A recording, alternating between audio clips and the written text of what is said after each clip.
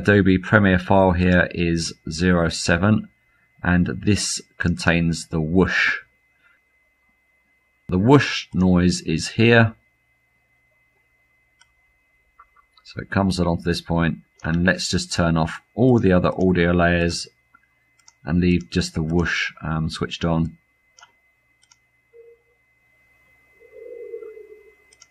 There we go. Don't know if you can hear that, but there's the whoosh.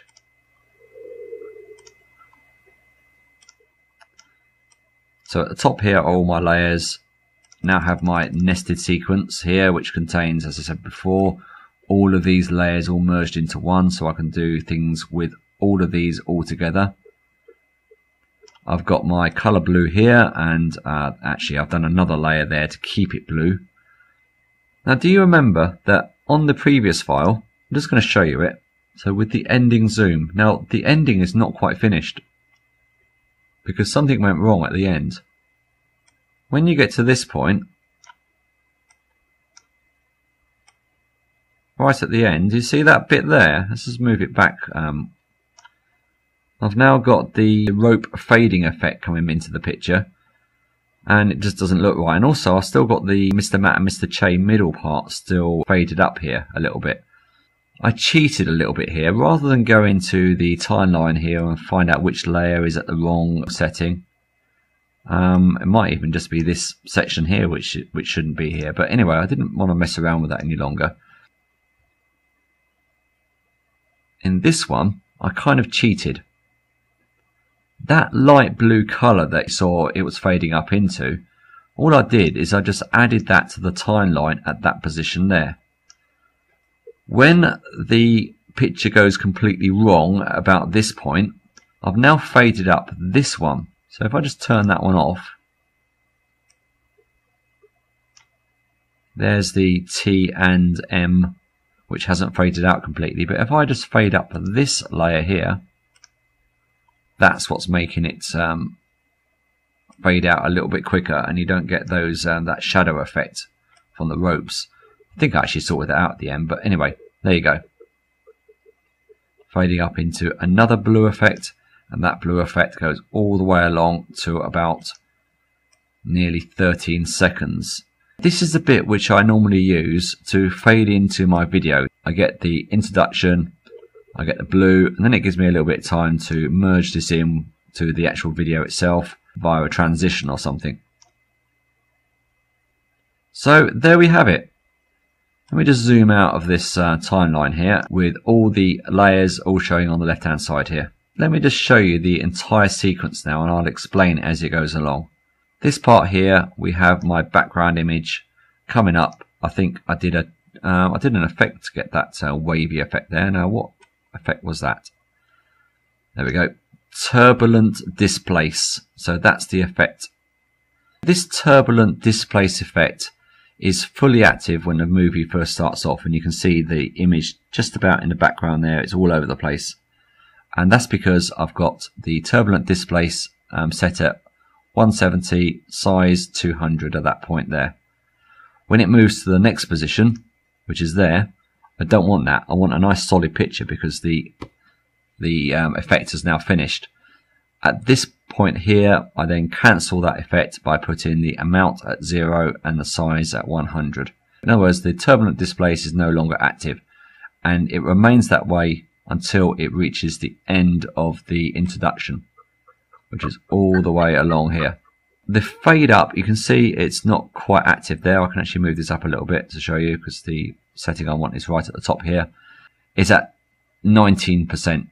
And then I want to fade it up quite rapidly to this point here and that reaches um, 85% and then I've got it increasing just a little bit more to here and that's 100% so that's how I've faded that effect up.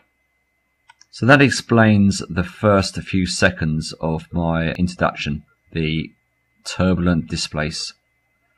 Now I gradually fade up the ropes which I think is um, video layer 2 yes it is and along with that I fade up the uh, shadow effect so if I turn both of them off that's what it would look like so now I'm bringing my ropes in and the shadow effect gradually